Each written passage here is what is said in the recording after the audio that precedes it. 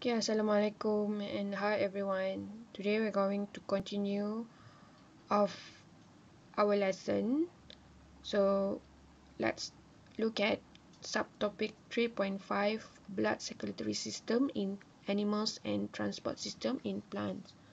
Okay, you can look at your textbook page 113.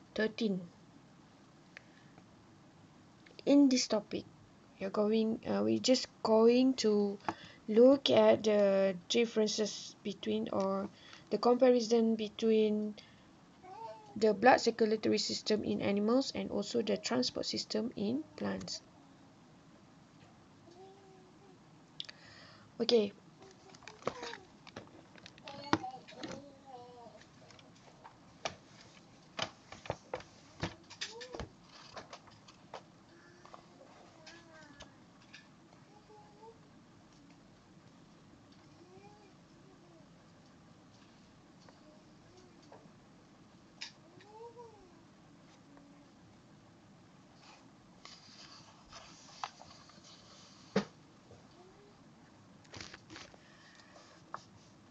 before this we already learned about the transport system in animals and as we call as the blood circulatory system in animals and also the transport system in plants okay?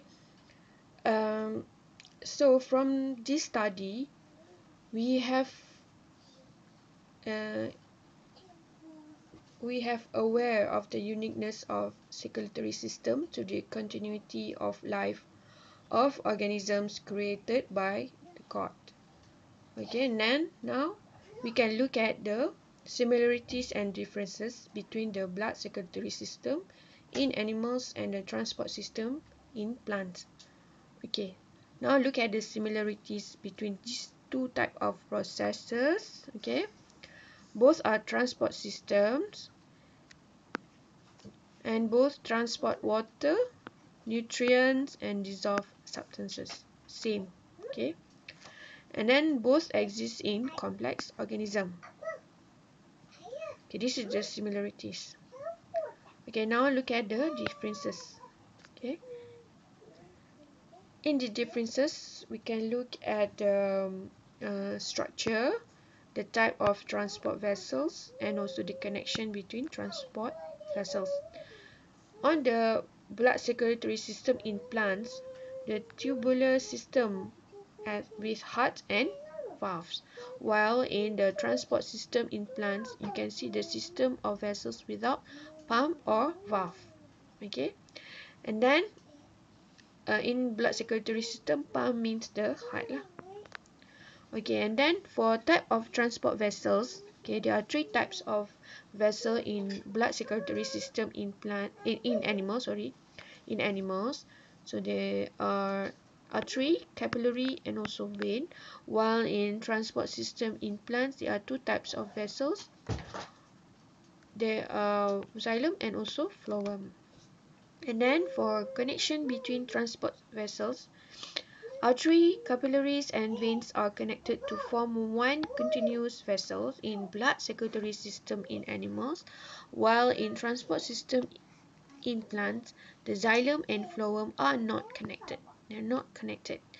Just uh, located nearby, okay, as I mentioned at chapter uh, subtopic 3.4, the location of flow, uh, xylem is inside but the phloem is uh, located beside okay?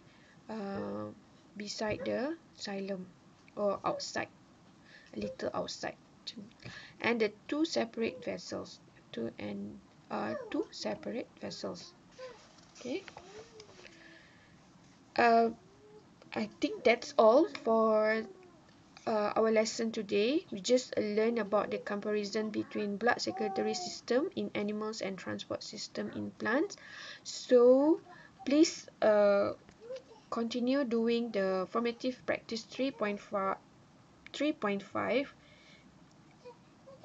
at page 113 then after settle this practice please turn in in google classroom okay class thank you for your attention today and I hope you enjoy learning of this topic. And don't forget to do the summative practice 3 start from page 116 until 120 so all the best for you guys and see you. Bye